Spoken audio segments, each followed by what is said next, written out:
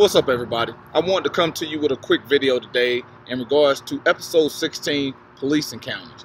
And basically what this is going to deal with is a quick view of contracts. And the reason why we bring that up because that's exactly what a citation is. That's one of the reasons why they want you to sign the citation. Later on because again that's one of the final portions of the videos or this series I'm going to teach you how, when you're forced to sign these citations, how to do it properly in a means that allows not only you to know, but their supervisors to know that there was something that went wrong in this encounter. So let's go into contracts real quick. Because you remember I told you one of the one of the reasons that it becomes void is because they're an executive officer performing a judicial duty.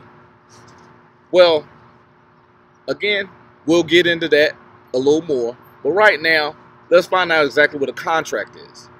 When a contract is made, it is an offer. Someone makes you an offer. You accept that offer. But generally, when that offer is being made to you by a police officer, it's a citation for you to pay a fine. Now, the acceptance is you you taking the ticket. And what happens is there is a gap because when you sign, that makes an agreement.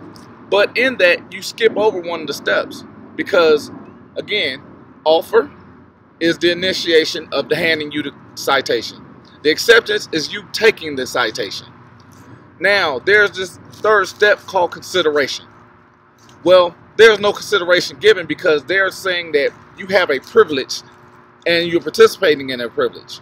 If you're not participating in the privilege, does that apply to you? Again, that's going to be something I'm going to go into, but not right now. And finally, step four is agreement. Again, that's with you signing the citation. Now, of course, I'm not going to leave you without a court case, but things that void the citation itself is coercion, duress, and pretty much both of those are means of force or intimidation. And since there's no consideration given, again, it's a one-sided contract, which is not legal. Okay, now I'm to leave you with U.S. versus Seckinger. 397 U.S. 203 1970. Parties to a contract have an obligation to operate with full disclosure and honesty, acting in good faith and with clean hands. Even in the domain of private contract law, the author of a standard form agreement is required to state its terms with clarity and candor. Now, basically, a citation is a one-sided agreement, so therefore there is no good faith in it. And if there's no good faith in it, you can't have clean hands with it. And what you what you're falling into when you're dealing with a citation is policy, administrative policy. And I've told you before, well, as you learn, policy is not law, no matter how well accepted. That's why whenever there's a challenge, they get a little upset, but understanding what the idea of it is, it's about money. If you can figure out that what they're doing in the process of these citations or contracts is not legal or even applicable to what you're doing, then you allow them, again, to do their job properly and to police the community in a proper manner versus just trying to create revenue and using actions of profiling and discrimination.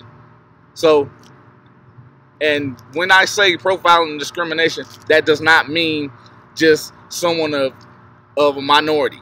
That does not mean an age group what they're doing is targeting those that are easily influenced or those that they feel are too busy to fight.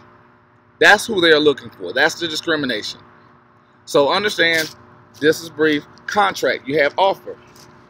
You have acceptance. You have consideration, which none is ever given by the state. And you have agreement. If those are not there, or coercion is there, the contract itself is void. And I'll show you how to do that properly. But until next time.